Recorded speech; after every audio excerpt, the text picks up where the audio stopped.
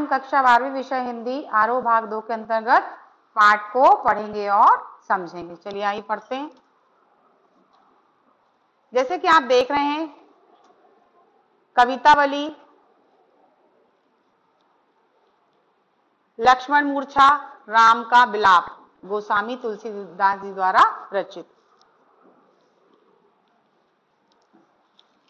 इसके आगे के जो पद्यांश है, वो मैं आपको पढ़ा चुकी हूँ। और अब जो और बचे हुए हैं, जो शेष हैं, उनको हम और पढ़ेंगे, समझेंगे। प्रभु प्रलाप सुनि कान बिकल भय बानर निकर, आई गयु हनुमान जिमी करुणा मह वीर रस। शब्दार्थ, प्रलाप, तर्कहीन वचन प्रवाह, विकल व्याकुल बानर बंदर, निकर समूह, जिमी जैसे मह में। संदर्भ प्रस्तुत काव्यांश, हमारी पाठ पुस्तक आरोह में संकलित लक्ष्मण मूर्चा और राम का बिलाप प्रसंग से अवतरित है। इसके रचिता तुलसीदास जी हैं।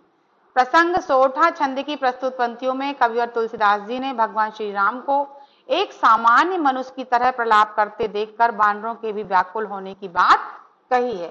साथ ही हनुमान जी के भी संजीवनी बूटी लेकर आने का वर्णन किया है। व्याख्या कभी तुलसीदास जी कहते हैं कि प्रिय भाई लक्ष्मण की दशा देखकर प्रभु श्री राम अत्यंत दुखी हो बिलाप करने लगते हैं। धीरे धीरे उनका यह बिलाप करुणापूर्ण प्रलाप में परिवर्तित हो जाता है। वह एक सामान्य मनुष्य की भांति दुख से व्यथित होते हैं और उनकी आँखों से अश्रुधारा फूट पड़ती है। प्रभु राम, प्रभु द्वारा लीला रूप में किए गए प्रलाप को कानों से सुनकर आसपास समूहों में चिंतित अवस्था में खड़ी राम की सेना के बानर भी अत्यधिक व्याकुल हो गए। इतने में ही पवन वेग से उड़ते हुए हनुमान जी वहाँ पहुँच जाते हैं और उनके आगमन पर ऐसा लगता है मानो अचानक से करुणा रस के प्रसंग में वीर रस प्रकट हो गया है। सूर्योदय से पूर्व हनुमान जी को संजीवनी बूटी के साथ देखकर कुछ ही क्षणों पूर्व उदास और दुखी वानर सेना में नव उत्साह का संचार हो जाता है। काव्य सौंदर्य राम की लीला का स्वरूप सामान्य मनुष्य की भांति प्रलाप करने वाला दृश्य अत्यंत मार्मिक है। हनुमान जी के आगमन से बानर सेना में उत्साह संचार होता है। सोठा छंद है। अनुप्रास अलंकार की छठा दर्शनी करुण विद्वान है। तत्सम शब्द बल युक्त अवधि भाषा है। प्रसाद गुण है। बिंब योजना अत्यंत सटीक, सार्थक और सजीव है। फिर है, हर श्री राम भेंट हनुमाना, अति कृतज्ञ प्रभु परम सुजाना, तुरंत वैद तब कीन उपाई उठी बैठे लक्ष्मण हर्षाई हृदय लाई प्रभु भेंट भ्राता, हर से सकल भालु कुल कपि ब्राता। कपि पुनि वैद तहा पहुंचावा, जही विधि तब ही ताहि लई आबा शब्दार्थ हरा से प्रसन्न होकर बैठ बैठ की मिले। कृतज्ञ कृतज्ञ कृतज्ञ सुजाना अच्छा ज्ञानी समझदार, वैद वैद्य, यहाँ सुषेण वैद्य तीन ही किया उपाय उपाय, उपचार हर्षाई हर्षित प्रसन्नता पूर्वक हृदय हृदय में सकल सभी कपि बानर व्राता समूह, झुंड, कपि बानर, यहाँ हनुमान जी विधि विधि प्रकार लई आबा ले आइए, ले आए। संदर्भ। प्रस्तुत काव्यांश हमारी पाठ पुस्तक कारों में संकलित लक्ष्मण मूर्छा और राम बिला प्रसंग सप्त इसके रचिता कौन है? तुलसीदास जी है।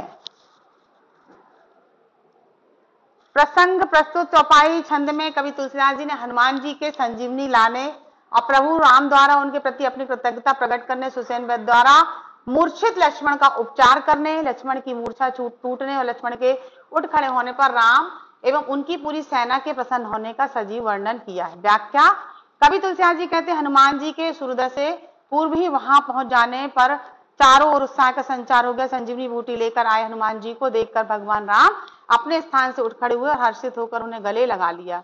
भाव यह है कि भ्राता लक्ष्मण की मूर्छा से अधीर व्याकुल हनुमान जी को समय संजीवनी बूटी के साथ लौटता देखकर प्रभु राम अत्यंत प्रसन्न हुए। प्रसन्नता पूर्वक भी हनुमान जी से गले लग कर मिले। हनुमान जी से मिलकर अत्यंत ज्ञानवान भगवान श्री राम ने उनके प्रति अपना कृतज्ञता भाव प्रकट किया। तब तुरंत ही संजीवनी बूटी को परिष्कृत करके वैद्य सुषेन मूर्छित लक्ष्मण का उपचार किया, जिसका शीघ्र प्रभाव हुआ और लक्ष्मण हर्षित होकर उठ बैठे। उन्हें प्रसन्नता पूर्वक स्वस्थ पाकर प्रभु राम अपने भाई को क्या करते हैं? हृदय से लगाकर मिले। और मेल मिलाप का यह जो दृश्य वहाँ देखकर, वहाँ जितने भी लोग वहाँ उपस्थित थे, सभी भालू, बानर के समूह भी प्रसन्नता से झूम उठे। चारों ओर खुशी छा गई। राम जी की सेना में पुनः उत्साह का संचार हो गया। हनुमान जी ने सुसेन वेद को उसी प्रकार तथा उसी विधि से वहाँ पहुँचा दिया, जिस प्रकार वे उन्हें पहले लेकर के आए थे। काव्य सौंदर्य हनुमान जी के सूर्योदय से पूर्व संजीवनी बूटी लेकर पहुँचने पर प्रभु राम कृतज्ञ भाव से उन्हें क्या करते हैं? गले लगा लेते हैं।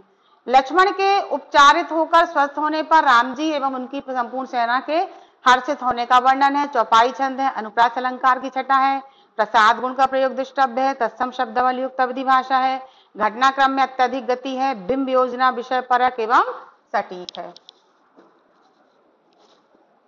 यह वृत्तांतम दशाननम सुनेऊ अति विषाद पुनि पुनि सिर धुनेऊ व्याकुल कुंभ करण पही आबा विविध जतन करिताही जगावा। जागा निशिचर देख कैसा, मानहु कालु देह धरि बैसा। कुंभ करण बूझा कहू, भाई काहे तब मुख रहे सुखाई।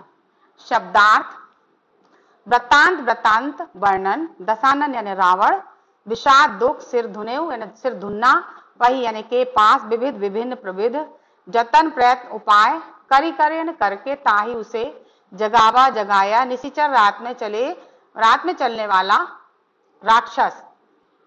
यहाँ कुंभकर्ण, यानी कालू काल, मृत्यु, देह, शरीर, धरी धारण करके बैसा बैठा, बूझा पूछा, कहू, कहो, काहे, क्यों, तब तेरा, तुम्हारा और आपका। संदर्भ, प्रस्तुत काव्यांश हमारी पाठ, जो पाठ पुस्तक है, आरोह में संकलित लक्ष्मण मूर्छा और राम का बिलाप प्रसंग से अवतरित है। इसके जो रचिता है वो तुलसीदास जी है। प्रसंग, प्रस्तुत चौपाई छंद में कवि तुलसीदास जी ने बताया कि रावण को जब लक्ष्मण के स्वस्थ होने का समाचार प्राप्त हुआ तो उसने अपना सिर पीट लिया और अपने बलशाली भाई कुंभकर्ण को निद्रा से क्या किया? जगाया।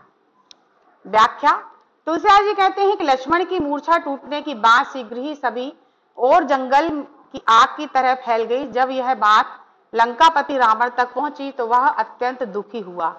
हताशा में उसने अपना सिर पीट लिया। वह बहुत व्याकुल होकर अपने भाई कुंभकर्ण के पास सहायता प्राप्त करने के लिए आया। कुंभकर्ण गहरी नींद में सो रहा था। रावण ने अनेकानेक प्रयत्नों के पश्चात उसे गहरी नींद से जगाया। कुंभकर्ण जागृत हो बैठा।